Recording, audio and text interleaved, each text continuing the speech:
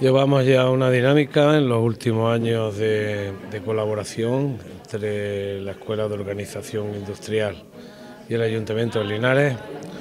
con convenios formalizados, con, un trabajo riguroso eh, de método y sobre todo rentable, rentable en cuanto a que eh, nuestro objetivo, que es ni más ni menos que eh, recuperar un tejido industrial a, base de apoyo al emprendimiento y a las iniciativas empresariales o cualquier idea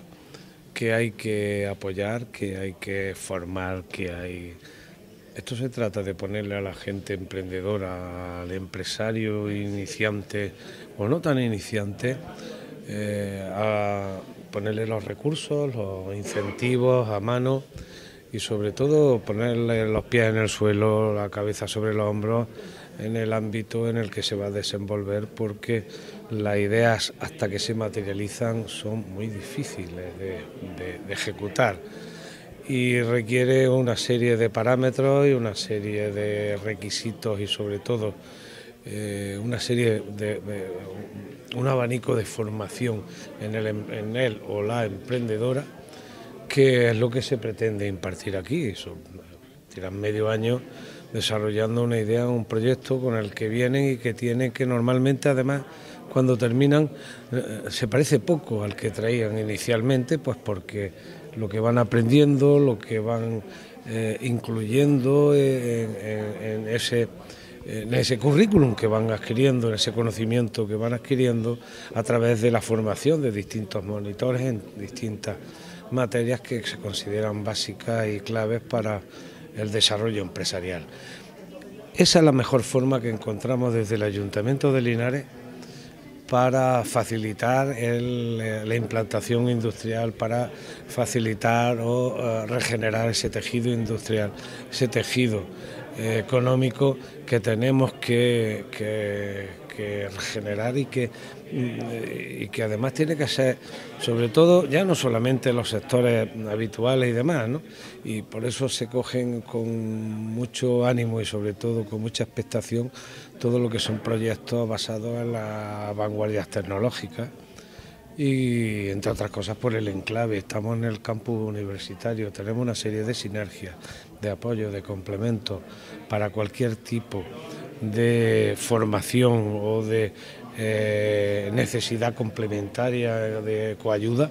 que, además del personal de la Cámara de,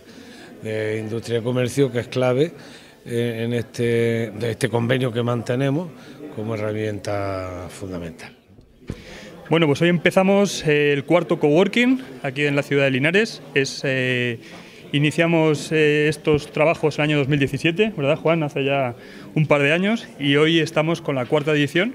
del coworking, por el que han pasado ya, con este, habrán pasado ya 85 proyectos de emprendimiento, más de 100 emprendedores eh, que están arrancando y poniendo en marcha sus ideas de negocio y sus proyectos empresariales en la ciudad de Linares. Y lo que estamos haciendo es ayudar a un grupo de, de emprendedores a darles el paso, ayudarles al paso definitivo para convertir su idea de negocio en una realidad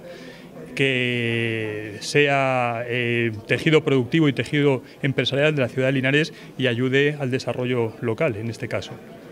Van a ser cinco meses en el que eh, durante 60 horas de formación y 40 de tutorías los emprendedores van a aprender